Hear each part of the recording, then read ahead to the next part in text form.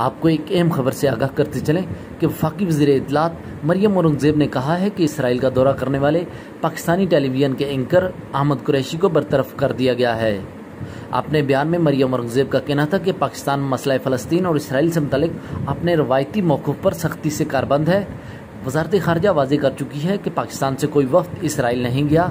उनने कहा कि सस्ती सियासी शहरत के लिए हर मनफी इकदाम करने वाले किसी कौमी मफाद का तो ख्याल करें। वज़ीर इतलात ने मजीद बताया कि दौरे में शामिल पी टी वी के एंकर को बरतरफ और आफेयर कर दिया गया है।